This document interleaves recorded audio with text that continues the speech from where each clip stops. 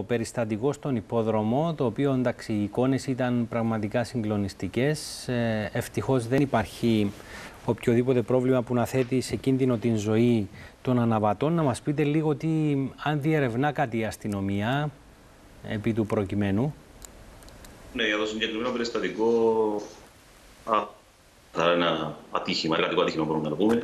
Ε, επιθεωρητές των εργατικών ατυχημάτων ε, διερευνούν την υπόθεση του Υπουργείου Εργασίας και Κοινωνικών Ασφαλίσεων και σήμερα ενδεχομένως να μεταβούν στον υπόδρομο για να συνεχίσουν τις εξετάσεις. Η αστυνομία θα παράσχει οποιαδήποτε βοήθεια χρειαστεί ε, όσον αφορά το συγκεκριμένο θέμα, αλλά επαναλαμβάνουν είναι καθαρά θέμα ε, των επιθεωρητών εργατικών ατυχημάτων. Μάλιστα. Μάλιστα. Τώρα πάμε να δούμε τι γίνεται με τη νέα τραγωδία. Ένας νέος άνθρωπος έχασε τη ζωή του στην Αργάκα. Είναι μοτοσυκλετιστής ε, σε ένα δρόμο όπου έχουν γίνει πολλά δυστυχήματα, κύριε Ανδρέου. Ναι. Ε, Δυστυχώς, ένας 24χρονο έχει χάσει τη ζωή του ε, ξημερώματα Κυριακής. Φαίνεται ότι κάτω από συνθήκε που διερευνώνται, έχασε τον έλεγχο της ε, μοτοσυκλέτας του με αποτέλεσμα να ανατραπεί ε, και να χάσει τη ζωή του. Ε, Δυστυχώς είναι το 19ο θύμα που χάνει τη ζωή του φέτος. Ε, ένα ε, πολύ τραγικό γεγονός που αναφέρουμε ότι τα περισσότερα δυστυχήματα που έχουν γίνει αυτή τη χρονική περίοδο φαίνεται ότι είναι ε, από μόνοι τους χωρίς να υπάρχει οποιοδήποτε άλλο ε, παράγοντας. ενώ δεν υπάρχουν άλλα οχήματα ή άλλα θέματα που να αφορούν τα θέματα αυτά όσον αφορά τα θανατηφόρα. Ε, επαναλαμβάνω, ο, το θύμα δεν έφερε το, το κράνος και φαίνεται ότι ακόμα μια φορά διαρκούμε μια υπόθεση όπου ο ανθρώπινος παράγοντας ε, παίζει σημαντικό ρόλο στη αποτέλεσμα αυτού του τραγικού δυστυχήματος.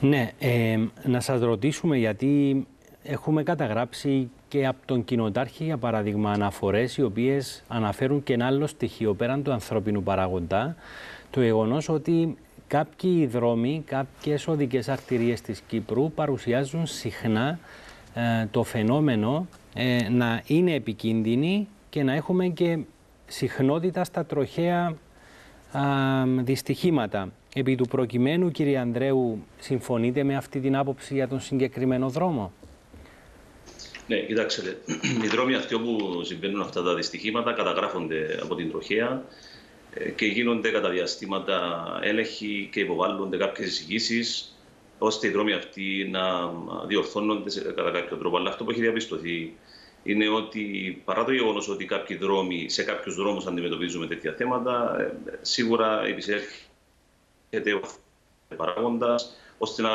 προκαλούνται τέτοια δυστυχήματα. Οπότε νομίζω ότι οι δρόμοι, αν μπορώ να το πω, είναι μια δικαιολογία όσον αφορά ε, τα δυστυχήματα αυτά. Επαναλαμβάνω όμως, εμείς καταγράφουμε τα θέματα αυτά, καταγράφουμε που συμβαίνουν αυτές οι τροχές συγκρούσεις, οι σοβαρές τροχές συγκρούσεις και όπου χρήζουν ε, ελέγχων. Μέλη μας εξειδικευμένα από την τροχέα αρχηγείου μεταβαίνουν στα σημεία αυτά και που βάλουν τις κατάλληλες ζητήσεις.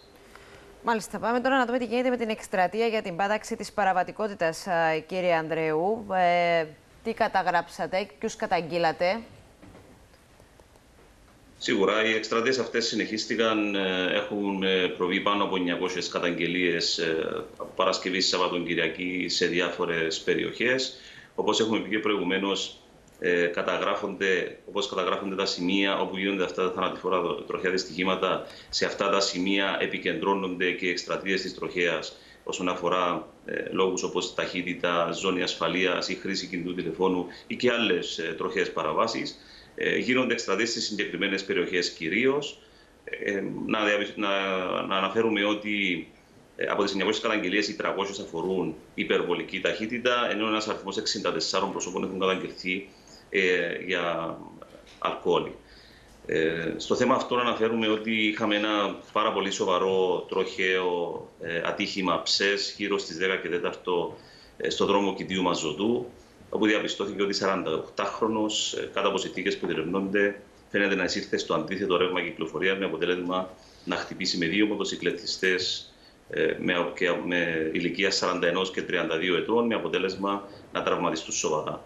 Ο 32χρονος ε, φέρει διάφορα κατάγματα και έχει εισαχθεί στο ε, χειρουργείο, ενώ βρίσκεται στο ορθοπαιδικό τμήμα, ενώ ένα δεύτερο πρόσωπο ηλικία 41 ετών ε, ακόμα βρίσκεται σε σοβαρή κατάσταση για αυτή τη στιγμή χειρουργείται και ενδεχομένως η κατάσταση του είναι κρίσιμη.